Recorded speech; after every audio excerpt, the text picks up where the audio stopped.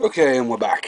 And I'm just taking the front cover off because um, I should really test that intensity pot um, properly. As some people pointed out on the forum.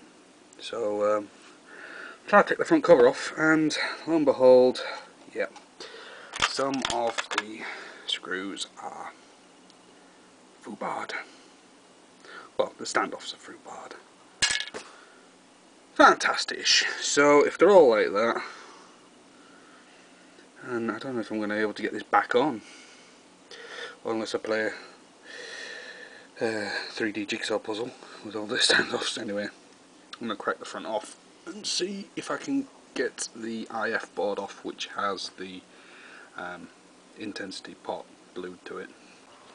Okay. So that's it. I had to take the front off to get the old um, spindle out but yeah. This uh, self-tapping uh, screw seems to have done the trick, so yeah. Job done.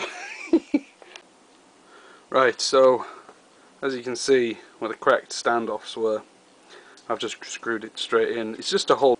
As you can see all the insides are just sort of like enough to stand it off, especially here. This is sort of like stood off just the right amount, so all this does is just pull it down too a bit so it doesn't flap in the breeze.